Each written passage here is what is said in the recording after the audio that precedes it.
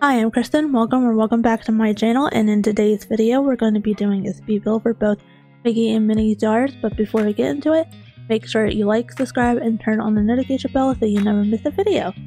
I'm also very sorry that there hasn't been a video in a while, but I'm hoping to change that real soon and hopefully get on a better schedule and start posting more consistently and plan on more streams in the future, which I am really excited about.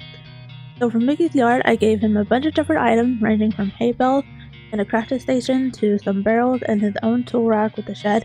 Even though it's not one, I just like to think that's where he keeps his tools and uses it to storage things in.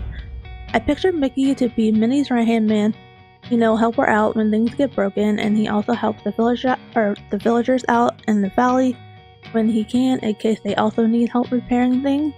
He even has his own lounge area where he can come out and relax after a long hard day or hang out with his buddies.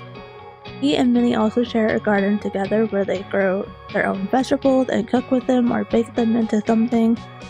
Under the gazebo is where I picture them eating dinner outside during a nice evening or even during parties sometimes with their friends. On Minnie's side, she has an area of her own where you'll see her from time to time sitting down, sewing, and making her bows. I can picture her selling these bows in the valley in the markets and displaying them there and she loves to bake, so I gave her an orchard of cherries and gooseberries. She even has her own flower garden to work in and change out the flowers whenever she feels like it. She also has her own seating area to relax in and invites her friends over for tea sometimes. They even have this beautiful pond in front of their house that you can still go to for fishing. All in all, I think their houses turned out beautiful and I'm very happy with them.